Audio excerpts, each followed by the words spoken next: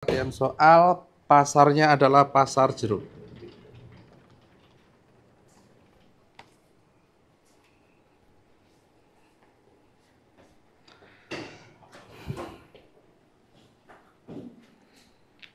Kita analisis bareng-bareng. Pasarnya adalah pasar jeruk. Yang A. Jeruk dipercaya bisa menambah daya tahan tubuh sehingga bisa terhindar dari corona. Mana yang terdampak demand atau supply? Demand. Demandnya naik atau turun? Naik. Demand naik bergeser ke kanan. Demand bergeser ke kanan, supply tetap, maka harga akan harga harga akan naik. Oke. Harga naik dan kuantitas yang diperjualbelikan akan naik. Sip. Ah, oke. Okay. 5 poin. Gampang kan nilai ekonomi mikro ya.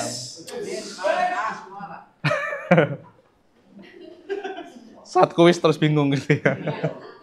oke. Okay. Yang B.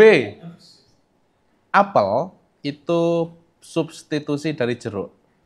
Ini berarti kita bahas yang demand ya. Oke. Harga apel naik.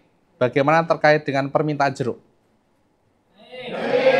Naik. Permintaan jeruk naik berarti demand jeruk bergeser ke Demand bergeser ke kanan maka harga naik. naik. Hi naik. Oke. Benar, lulus. Nomor tiga, pendapatan masyarakat uh, turun dan jeruk adalah barang normal. Maka saat pendapatan turun, permintaan jeruk akan turun. Permintaan jeruk turun berarti demand bergeser ke. Oke. Demand bergeser ke kiri, maka harga akan turun, turun dan hi akan turun. Sip. Yang D, yang D ada dua kasus. Kasus yang pertama, pendapatan meningkat. Kasus yang kedua, harga pupuk meningkat. Oke, sekarang silakan digambar ini agak rumit. Pendapatan meningkat, mana yang bergeser? Bergeser ke mana? Oke, D ke kanan. Oke, kasus yang kedua, harga pupuk meningkat. Mana yang bergeser? S, S bergeser ke E, kiri, karena tidak menguntungkan kan. D ke kanan, oke. S ke kiri, mana yang sudah pasti? P atau H? P. P akan naik. naik. Sedangkan H ambigu. Oke, benar. Kalian paham lah, dapat 100 nanti. Oke bantuan dengan membenarkan semua jawabannya. Oke, yang E. Ada dua kasus juga. Yang pertama, orang tidak selera untuk memakan jeruk karena diisukan disuntik bahan kimia. Mana yang bergeser? D. D bergeser ke kiri. Sip. Sekarang, lahan jeruk beralih fungsi menjadi perumahan. Yang bergeser, yang adalah supply bergeser ke kiri. D ke kiri, S ke kiri. Mana yang sudah pasti berubah? H-nya akan turun, sedangkan harga masih ambigu. Oke, kalian sudah paham.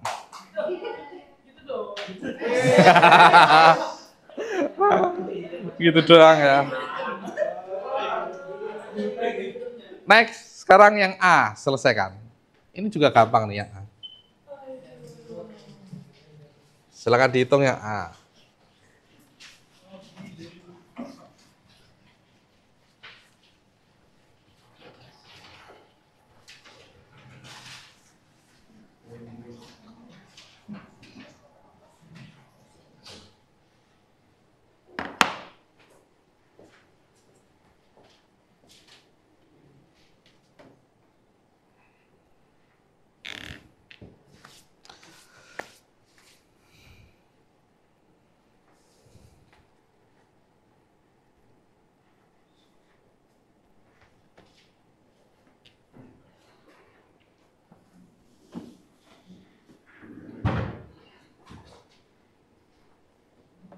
A sudah ketemu, P-nya berapa?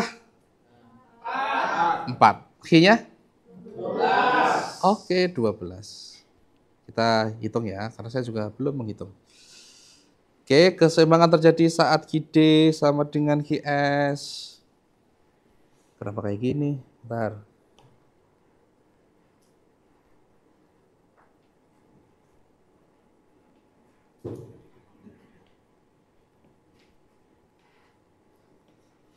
Keseimbangan terjadi saat QD sama dengan QS. 20 min 2P sama dengan 4P. Min 4. 6P sama dengan 24. Oke, P-nya sama dengan 4.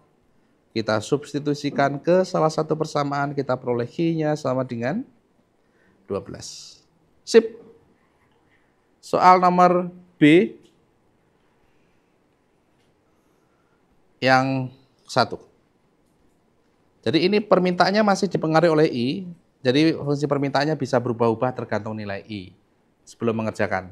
Kita lihat dulu. Q sama dengan 300 min 2P plus 4I. Persamaan ini mengisyaratkan bahwa barang yang sedang kita analisis itu barang normal atau inferior.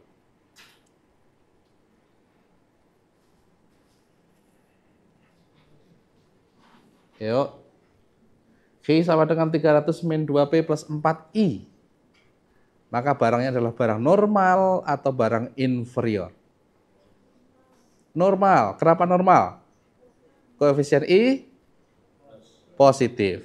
Artinya saat pendapatannya naik, Q-nya juga akan ikut naik. Berarti tipe barang normal. Kalau barang inferior, I-nya naik, pendapatan bertambah, justru yang diminta turun. Oke, yang nomor satu berarti I-nya 25, maka GD-nya.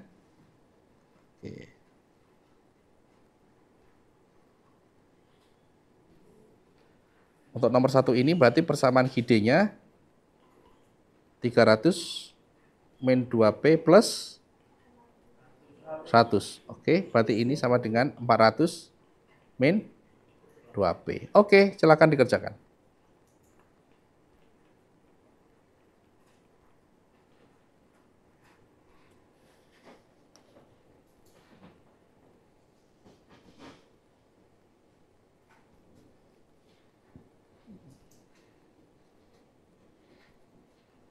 Oh ya, definisi market clearing ini sama dengan equilibrium ya.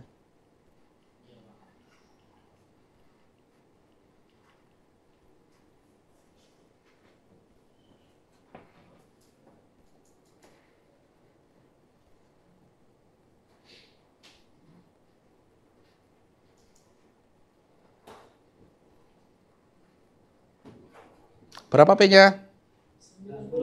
Oke. Okay. 450 sama dengan 5P, P nya 90, Q-nya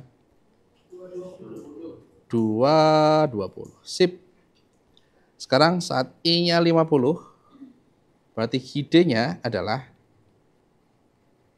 500 ya?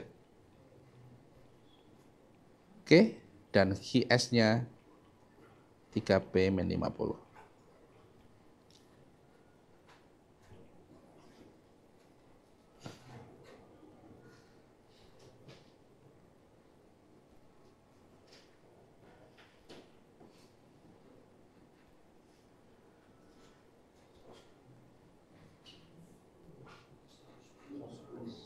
Oke, P-nya 110 dan Q-nya 280. Sip.